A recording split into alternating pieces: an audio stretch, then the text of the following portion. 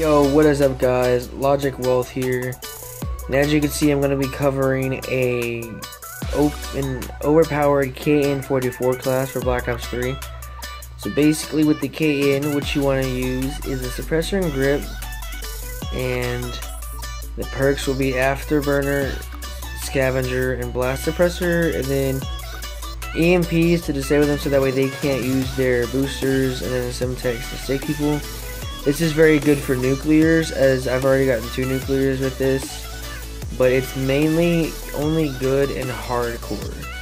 So I would use this to play in hardcore to get the nuclears if you want to.